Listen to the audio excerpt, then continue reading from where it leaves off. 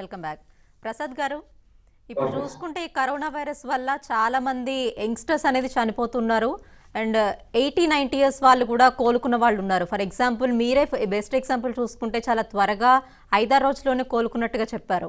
మరి ఇప్పుడు చిన్న పిల్లలు ఎందుకు యంగ్స్టర్స్ ట్వంటీ ప్లస్ వాళ్ళే చనిపోతున్నారు? అంటే అప్పట్లో ఉన్న ఆహార అలవాట్లే కారణం అంటారా? మనం ఇంతకుముందు అనుకున్నట్టు మూడు కదా గాలి నీళ్ళు ఆహారం మూడు ఉన్నాయి. మేము చిన్నప్పుడు చాలా ఆడుతున్నాం కదా. గేమ్సే కాకుండా స్పోర్ట్సే కాకుండా చెట్లు ఎక్కడము ఈత కొట్టడము అసలు భోజనం కా- అసలు చూసుకునే వాళ్ళం కాదు టైమింగ్ లేదు అంత యాక్టివ్గా ఉన్నాం ఇప్పుడు పిల్లలందరూ అసలు గేమ్సే లేదు కదా. ఎక్కడ స్కూల్లో గేమ్స్ లేవు. ఎట్లా? మనిషి హంటర్ గ్యాదర్ అంటే హంట్ చేసి ఆహారం సంపాదించుకున్నాడు.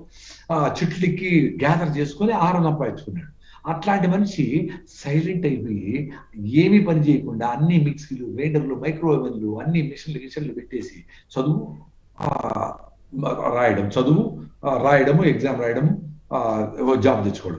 దీనికి లిమిట్ అయిపోయినాడు కదా. ఫిజికల్గా యాక్టివిటీ జీరో అయిపోతుంది కదా. మరి ఇమ్యూనిటీ ఎట్లా వస్తుంది ఇన్ని లక్షల ఏళ్ళ నుంచి వచ్చిన జీవన విధానాన్ని గత యాభై ఏళ్ళలో చాలా మార్పులు తెచ్చినాడు రెండోది మనం లాస్ట్ టైం లాక్డౌన్లో ఫుల్ లాక్డౌన్ పెట్టారు. కాబట్టి ఆ వైరస్ ఫస్ట్ వేవ్లో కొంత ఏజ్ ఉండే వాళ్ళ మీద ఎఫెక్ట్ చూపించింది. సో లాక్డౌన్ తీసేసిన తర్వాత జనవరి ఫిబ్రవరి నెలల్లో విపరీతంగా పెళ్ళిళ్ళు విపరీతంగా ఫంక్షన్లు బర్త్డేలు అన్ని చేసినాం. అప్పుడు ఎవరు యాక్టివ్గా ఉంటారు? యంగ్స్టర్సే యాక్టివ్గా ఉన్నారు. తిరుగుతా ఉన్నారు చేసుకున్నారు సెల్ఫీలు తీసుకున్నారు పండగలు అన్ని చేసుకున్నారు. సో ముసలోళ్ళు పెద్దగా యాక్టివ్ ఉంటారు కదా జనరల్ ఇంట్లో ఉంటారు. సో వాళ్ళకు రిస్క్ ఉంది కానీ వాళ్ళకు తగ్గింది. ఎవరు ఎక్స్పోజ్ అయినారో ఈ రెండు నెలల్లో ఎక్కువ మంది ఫంక్షన్లు చేసుకొని ఎక్కువ మంది చేసుకున్నారో వాళ్ళకి ఎక్కువ ముప్పు వచ్చింది. అందుకని యంగ్స్టర్స్ ఎక్కువ చనిపోతారు because they have been exposed in this entire episode youngsters ఎక్కువ. ఇప్పుడు నెక్స్ట్ థర్డ్ వేవ్ చిన్నపిల్లలకి ఎక్కువ వస్తుంది అని ఎందుకంటా ఉన్నారంటే చిన్నపిల్లలు ఇంతవరకు ఎక్స్పోజ్ కాల. సో యాంటీబాడీస్ లేవు వాళ్ళకి. సో ఎక్స్పోజ్ అయిన వాళ్ళకి చనిపోయే వాళ్ళు చనిపోయినారు మిగతా వాళ్ళకి యాంటీబాడీస్ వచ్చేస్తాయి. చిన్నగా maybe six months maybe one year or maybe two years vaccine వేసుకుంటే కూడా వస్తాయి లేదు ఎక్స్పోజ్ అయితే కూడా యాంటీబాడీస్ ఎవరు ఎక్స్పోజ్ కాకుండా ఇంట్లోనే చాలా జాగ్రత్తగా ఉన్నారు వాళ్ళు ఇప్పుడు బయట వస్తారో అప్పుడు ఎక్స్పోజ్ అవుతారు సో వాళ్ళకేమి వ్యాక్సిన్ వేసుకొని యాంటీబాడీస్ అలా తెచ్చుకోవాలి. దానివల్ల వచ్చే సైడ్ ఎఫెక్ట్స్ ఏమైతుంది ఇది అదే పక్కన పెట్టేసి ఆ వ్యాక్సిన్ వేసుకోవాలా?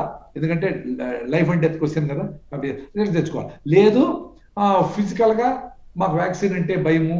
అది కొన్ని కారణాల వల్ల మాకు వద్దు అనుకుంటే మీరు ఫిట్గా ఉండడానికి బాగా గట్టిగా కష్టపడి రోజు పొద్దున్నే రాగి జావ సద్దజావ తాగడము కరివేపాకు తినడము మునగాకు తినడము సీజనల్ ఫ్రూట్స్ తినడము కొర్రలు సామలు తినడము మంచిగా మైండ్ ఫ్రీగా పెట్టుకొని చిన్నపిల్లలతో ఆడుకోవడము ఫ్రెండ్స్తో జోకులు చెప్పుకోవడము ఇవన్నీ చేసుకుంటే మానసిక ఆరోగ్యము శారీరక ఆరోగ్యము రెండు ఉంటే హండ్రెడ్ పర్సెంట్ వాళ్ళు ఈ కరోనా నుంచి బయటపడవచ్చు న్యాచురల్గా కరోనా వస్తే ఓకే. కరోనాకు ఇప్పుడు వ్యాక్సిన్ తీసుకుంటాము. అది కొంచెం బయటపడేస్తుంది. నెక్స్ట్ ఇంకో కరోనా ఇంకో రూపాంతరం చెందుతా ఉంది కదా. మనకు మన మనమెవరు ఊహించలేదు కదా. ఎందో వచ్చింది. కొంతమందికి వచ్చిపోతుంది అనుకున్నాం. ఎల్లో ఫీవర్ లాగానో చికెన్ గుంజ లాగానో స్వైన్ ఫ్లూ లాగానో కొంతమందికి ఎఫెక్ట్ కాదు కదా ఇది.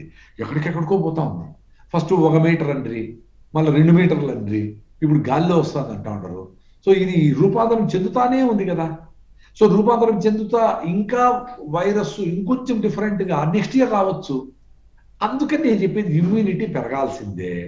అందరూ ఈ చెత్త చెదరము రిఫైండ్ ఆయిల్ చక్కెర మైదా కాఫీలు టీలు ఈ రైసు గోధుమలు వీటితో చేసిన ఫుడ్స్ కెమికల్ ఫార్మింగ్ చేసి తింటా ఉండే ఫుడ్స్ స్ప్రేలు చేసి ప్రిజర్వేటివ్లు వేసి తింటా ఉండే కలర్స్ వేసి తింటా ఉండే గోబీ మంచూరియన్లు రకరకాల ఇన్ని ఆ ఫుడ్ కలర్ గిల్క ఏం అన్ని డ్రామానే అసలు కలర్ ఎందుకమ్మా ఫుడ్కి? మంచిగా ఏ ఏ- ఏ- ఏ సీజన్లో వచ్చిన ఫ్రూట్స్ ఏ సీజన్లో ఏ కలర్ ఉంటుంది అక్కడ గోబీ మంచూరి. ఆ గ్రీన్ గానే గోబీని తినండి. దానికి ఎర్రగా రంగు వేసుకొని ఎందుకు తినాలా? ఎవరు చెప్పినారు ఎందుకు అవసరం చెప్పండి? ఇవన్నీ పొట్టలేకపోతే ఈ శరీరము జబ్బులతో పోరాడుతుందా? మనం తినే విష పదార్థాలతో పోరాడుతుందా? మానసిక సంఘర్షణతో పోరా ఎంతని పోరాడుతుంది చెప్పండి. సో అది ఫెయిల్ అయిపోయిన దానికి ఇన్ని రకాల సమస్యలు ఎదుర్కొంటాను లేకపోతే ఇంత పెద్ద సైన్స్ను ఇంత అభివృద్ధి చెందిన ఆ, ఈ ప్రపంచంలో ఆ ఒక వైరస్ ఇంత రూపాంతరం చెందుతా ఉంటే ఇంత జీనోమ్ ప్రాజెక్టులన్నీ చేసి మనము జెనెటిక్ ఆ కూడంతా తీసుకున్నాము ప్రతి జీవిది. అలాంటిది మనకు ఓక అందనంతగా జరుగుతుంది కదా.